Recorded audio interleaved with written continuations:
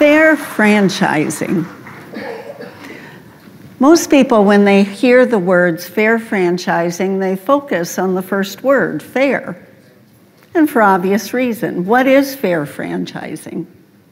They hear the words fair franchising, and if they come to an education session on fair franchising, or we address it at an AAHOA business meeting, they think, I want to find out what's fair in my franchise system, right?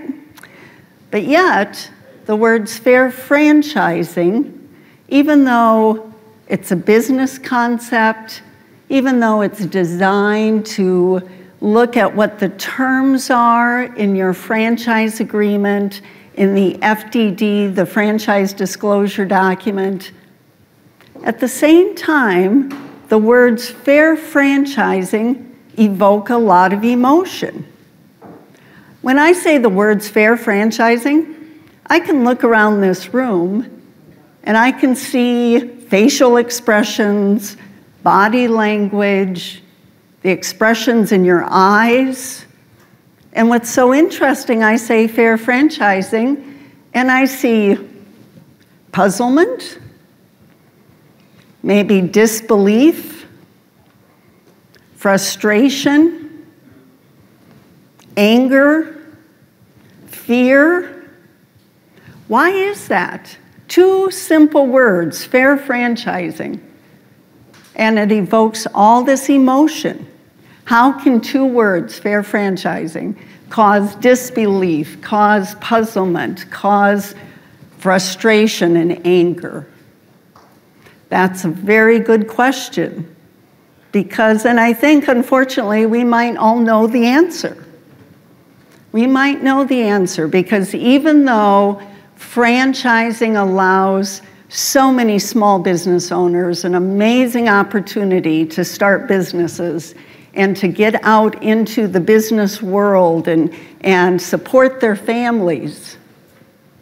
In recent years, franchising has become increasingly unfair.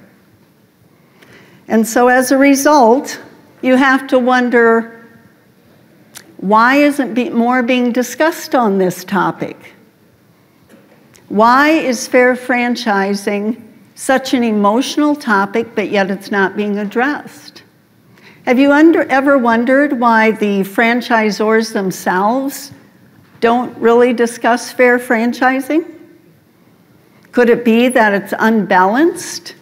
Could it be that it's unstable and they all know it? At AAHOA, we are hoping to make that difference. Because right now, you take the words fair franchising and it's like two magnets that are repulsed. Two magnets that are repulsed. Okay? And there was a discussion by Neil here earlier about some of the things that you know are unfair. You know, 15 years ago, as I understand it, you would get a fee statement and there might be three line items. There might be royalties, marketing, sponsorship fees, miscellaneous. How many of you today are getting fee statements where there's 30 or 40 items of fees listed in your fee statements? No? I see hands raised, yes? And how many of you are experiencing mandated vendors and you're paying double, triple, quadruple the price if, as a, compared to if you just went out in the marketplace and bought that product or service. And you have to wonder if these franchisors are buying and, and soliciting these vendors to do volume discounts, how come you're paying more? That seems unfair. And so at AAHOA, we are trying to address this. And one solution that we are working on is the AAHOA 12 Points of Fair Franchising. Now, I have been studying and speaking on fair franchising for more than 10 years.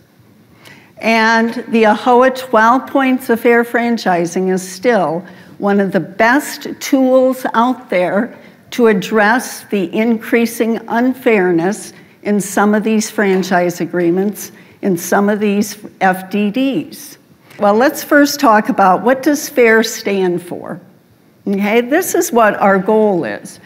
That it would be fair and balanced, that there would be accountability by the franchisors with what they're doing with your fees, what they're doing with the rebates and commissions from the vendors that they're making you buy products and services from.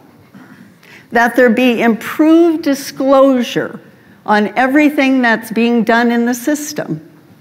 And that, of course, there's reasoned dialogue on the concerns that are raised by you, our members, who are out there day after day dealing with these franchise agreements, dealing with these practices that have become unfair. But we need your help and engagement to, to address this. We are striving to get rid of the unfair to turn this into fair franchising. What is the vision?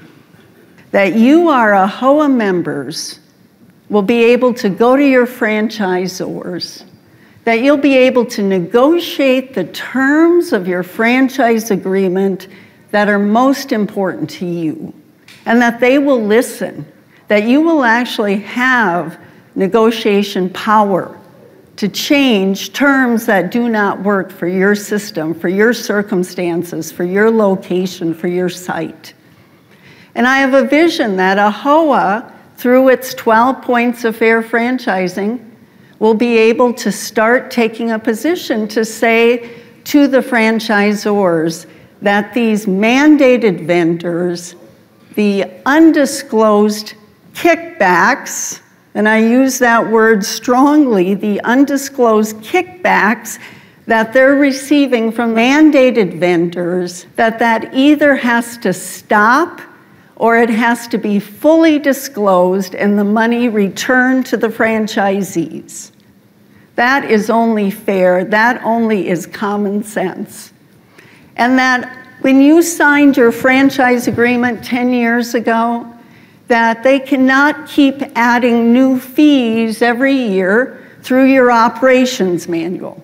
That they cannot continue to add fee on top of fee because your ROIs are going down and down and down, while their revenues are continuing to increase and increase and increase.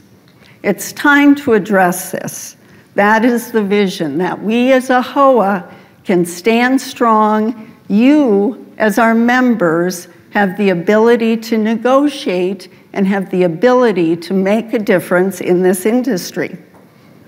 Together, we are stronger, and if we can stand united, we can move that needle. So let's look and talk about AAHOA's 12 points very quickly. I know you at the convention, we had the QR codes, many of you downloaded it, but let's admit it, you're busy, you probably didn't have a chance to read most of them. So let's do a quick overview. The first one's just on termination rights and liquidated damages. How many of you love to pay 36 months of liquidated damages if you have to terminate early? I'm sure all of us do, right? 36 months. And let's look at how, how long does it really take a franchisor to replace a property? Okay? We put in the AAHOA 12 points that it should be six months. Now, maybe some franchisors, it takes longer, but that's where the dialogue comes in. That's where you have the negotiation power, depending on your brand, depending on what you're looking to do. The second one impact encroach- encroachment and cross brand protection. Again, that's to give you a reasonable area protection around your hotel, and that they cannot come and put right across the street a similar brand by the exact same franchisor that they just changed a few words to make it sound like it was a different property or a different flag. So that's what that's designed for. Then we have minimum performance and quality guarantees. Number four, quality assurance inspections and guest surveys. Number five, this is what we discussed vendor exclusivity rebates and affiliated companies as vendors. And those rebates, again, that's the concept where they get a kickback by making you buy from certain vendors. Number six, full transparency of the franchisee funded programs and fees. Tell us what you're doing with these fees. Number seven, maintaining and building the relationships with the franchisees, with the franchisee associations. Number eight, dispute resolution. Many of you, and maybe you're aware of this, maybe you're not, many of you are precluded from going to court if you have a dispute with your franchisor. They mandate arbitration in their backyard. In other words, you have to go to their state, use their arbitration group to resolve your disputes. And as you might predict, those results are unfortunately sometimes unfair. Number nine, venue and choice of law clauses. We're advocating that wherever the facility is located, if there's a dispute, that's where it's heard based on the laws of the state that that facility is, is housed. Number 10, franchisee sales ethics and practices. That it just has to be honest. If they're telling you one thing before you sign your franchise agreement, let's make sure it's honest so you're not misled. Number 11, transferability, that you can transfer with a new purchaser and it's a fair process. Number 12, sale of the franchise system hotel brands. That as franchisees, if your franchisor is going to sell the flag, that they have to give you advance notice. So that's the 12 points of fair franchising, actually pretty straightforward. So what's next? Education, insight, and empowerment. Um, we are planning to do a 12-part series that we will be filled, that we will be videotaping and posting on our website to go beyond the 12 points. In other words, we'll take each of these 12 points we just addressed and do a deep dive into them um, so you understand the key takeaways of each of them. And we also will be working with you. We would love your input, um, your feedback, your stories on what's happening in your systems, because then we can address it accordingly. And you see there's an, an email here, franchise at aahoa.com. Please send us your comments, send us your remarks. Um, if you would like to download the 12 points of fair franchising, you can do that. These are the revised ones. Here's the QR code for you.